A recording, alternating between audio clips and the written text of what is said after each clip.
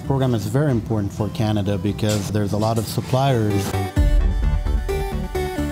In my first job out of school, I troubleshoot the manufacturing issues related to the F-35 program.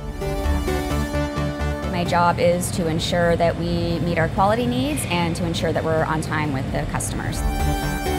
It's actually utilizing my technical abilities to make decisions on certain parts and understand how the parts function.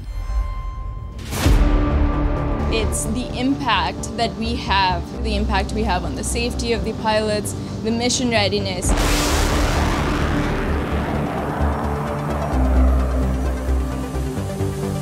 The F-35 program is a, a, prime example of a program that has both leveraged and strengthened our position as a trusted, proven leader with a multinational footprint that serves the defense industry broadly.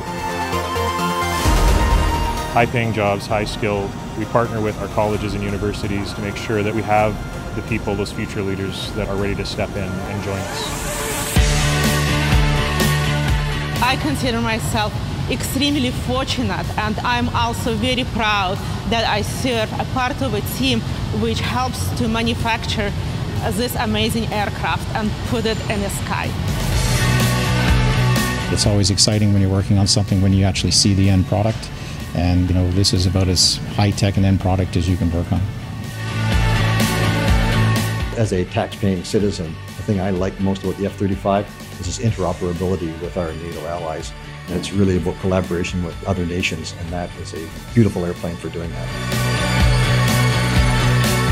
It's amazing to think that we're making some really important critical components that are going onto these planes and contributing to people's safety.